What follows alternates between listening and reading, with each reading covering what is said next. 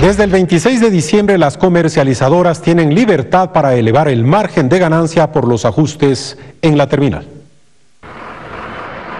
La Agencia de Regulación y Control Hidrocarburífero liberó el margen de ganancia para la gasolina super.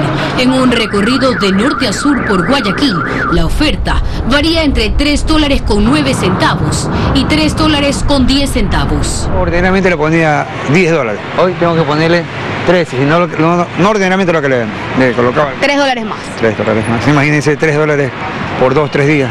¿Cuánto significa?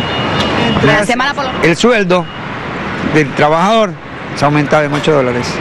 ¿Usted cree que es justo? Le quedan 2 dólares ese aumento. El decreto anterior fijaba el precio de venta al público, el nuevo no, con lo cual las estaciones pueden fijar su propio precio de comercialización.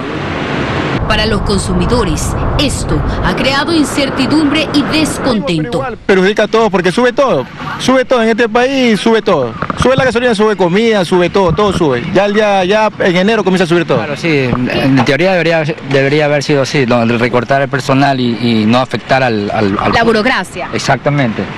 Porque esto es lo que afecta más al pueblo. pues. Cada mes el precio dependerá del costo del barril de petróleo, además de los gastos de transporte, almacenamiento y comercialización. María Belén Goncalves, Noticiero 1.